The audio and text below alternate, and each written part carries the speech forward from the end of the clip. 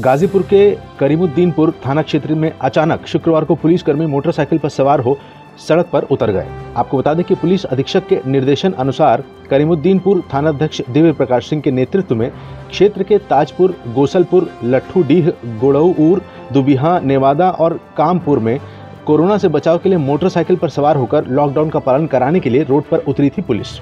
मालूम हो कि इस दौरान लोगों से अपील भी की गई कि वे लॉकडाउन के नियमों का पालन करें और एक दूसरे से सामाजिक दूरी बनाए रखें, ताकि कोरोना जैसे खतरनाक महामारी को फैलने से रोका जा सके।